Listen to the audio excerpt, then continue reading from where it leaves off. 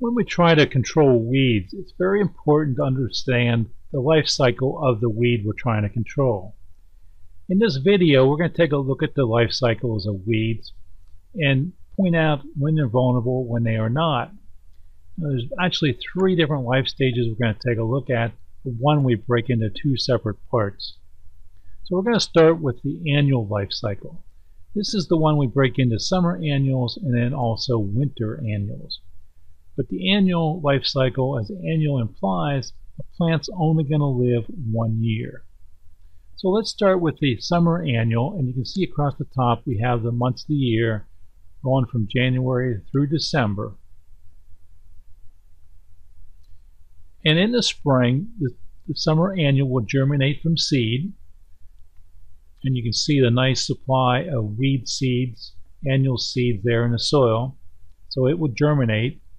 It's going to keep growing, and then it's going to mature. It's going to shoot up uh, a seeds, a seed stalk, uh, to produce seeds, and the seeds are the primary principle for the annual to survive and to reproduce to guarantee future generations. So it's going to set seed, those seeds will fall to the ground when they mature, and then they'll be there in the soil actually for years and years to come. Uh, they don't uh, all germinate at the same time. So after the seed and we get the, the first hard frost in the fall, the summer annual is going to die. Again, an annual only lives one year. Its main function is to grow, produce seed, and it's done. Now we go to the winter annual. Please note at the top our months of the year have are different. We go from July to June. So we're picking up really the start of the winter annual in the fall of the year. Again, we have seeds in the soil that are just waiting to germinate. But the main thing here is the winter annual is going to germinate sometime in the fall. Now, even though my arrow points September, October, this can actually happen as early as August through that fall period. The key thing is they're going to germinate in the fall and they're going to grow. And again, their main function is to grow and eventually produce seed. Now, at the end of the year, the growing season, the cold weather will not kill the winter annual. It may die back, uh, but it's not going to kill it and it's going to survive come early spring, oftentimes very early before anything else starts growing, the winter annual will start growing. And again, its main function is to grow, produce seed, and then it's going to die. So it's actually the warmer weather that's going to kill the winter annual. It has matured, it's done its thing, it's produced its seed, and now its life cycle is over. The next one I want to talk about is a biennial life cycle. Bi meaning two. So this particular life cycle, the plant lives for two years. The first year, it's really a vegetative life cycle. You're going to see, you're going to get germination from the seeds.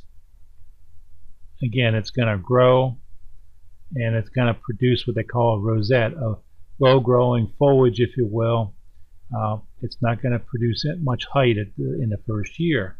Now, one of the things you'll see is it's developing a very sound root system. In this particular case, this is wild carrot, and it's producing this uh, underground tuber that's growing in size, and it's going to provide a storehouse of energy. So come the second year, it's going to have energy to start growing. And that's what we see here in the second year. The Second year is really the reproductive year versus the year one that was mainly vegetative. So it's going to grow, but now it's gearing up to start producing seed. So you're going to get much higher growth. It's going to shoot up and it's going to flower and seed at the end of year two.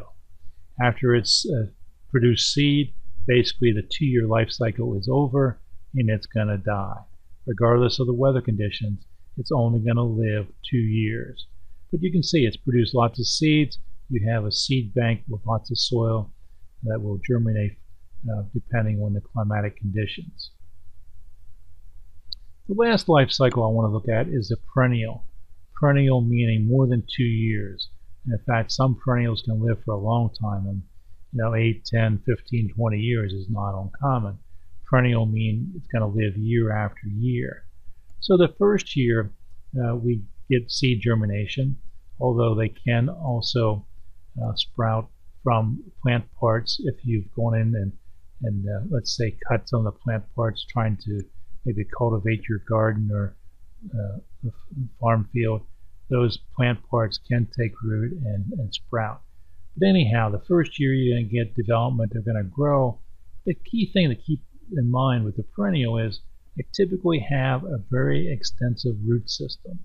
You can see here in year one, we have the root system, but as we go into year two, it's going to really take off. There you see the root system. And the other thing you'll see is it'll send up new plants from that root system.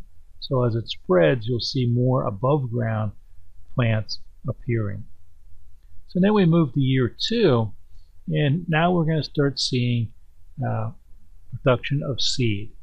It's not only year two, but following years. We have a mature plant. We have a very extensive root system. You're seeing that how it's spreading by producing more plants coming up through the soil from the root system. So now you have a real mess. You have a plant that's very difficult to control because it has a massive root system. We can sometimes kill the top growth, but if you don't kill the roots, it's going to come back on you. So again, you see a very difficult to control weed. So there you have it, the four life cycles of weeds. The summer annual, the winter annual, the biennial, and the perennial. I should mention that, that when the biennial, that takes two years, only broadleaf weeds exhibit the biennial uh, life cycle. The other ones, annuals uh, and the perennials, we can see that with uh, not only broadleaf but also in the grasses uh, as well. Okay, I hope that helps you understand the different life cycles of weeds. Now, please contact us at Pesticide Education if you have any additional questions. Thank you.